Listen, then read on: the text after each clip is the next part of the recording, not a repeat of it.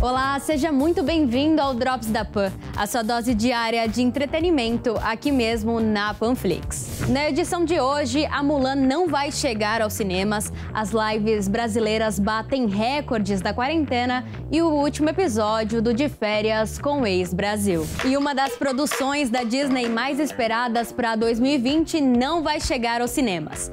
O live action de Mulan foi descartado e não chegará às telonas nesse ou nos próximos anos. O material, claro, vai diretamente para o streaming da empresa, o Disney Plus.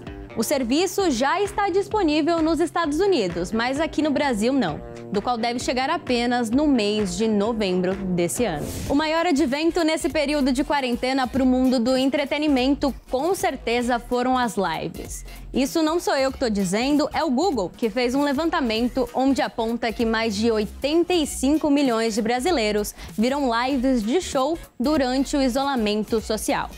A moda pegou no mundo todo, mas nós, os brasileiros, batemos diversos recordes durante os últimos cinco meses. Das 10 lives musicais mais vistas do YouTube mundial, oito são de cantores brasileiros.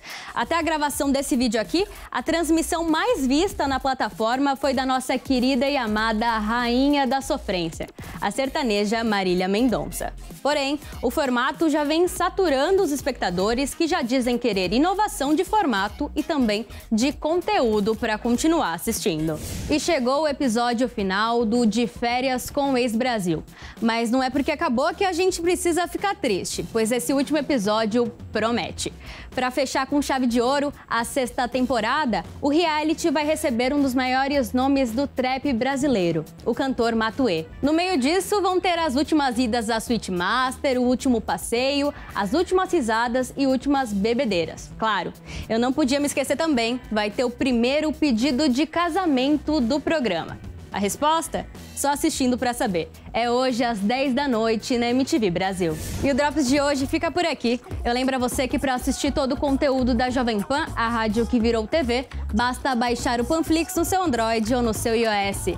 Acompanhe a gente também através das nossas plataformas digitais. O site, você já sabe, é jp.com.br. Tchau, tchau e até mais.